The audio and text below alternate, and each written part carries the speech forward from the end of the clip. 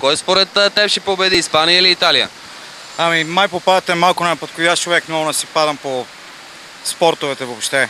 Ма какви сте въпроси, които ми задавате? Мисля, че Испания. Италия. Така, Италия винаги така правят. Испания естествено. Истината е, че дори си нямам на идея кой играе в момента. Испания и Италия. Не знам. Не съм гледал нито един матч от европейското. Предполагам Италия, залагам за тях. А, нямам идея. Просто в момента съм сесия и, и въобще не се, не се интересувам от футбола. Еми, италианеца, този матч го гледах. Последния добре се справи. Мисля, че Италия като че ли може да продължи. Не проявявам интерес. Има толкова много други спортове. Защо само футбол? В Испания и Италия, принципно Испания, защото Давид Вия много ми хареса как играе.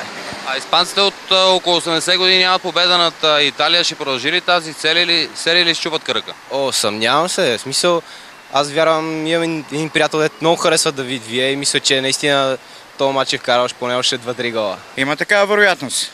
Той има една серия, която все някога била прекъсната. Сега пък да се надяваме, че ако испанците се проявят така дух и добра игра, ще прекъснат още серия от 80 години. Какъв кръг има да чупат? Че италианците не играят нищо. Какво да играят? Те- Очакваш ли испанците да изядат пицата?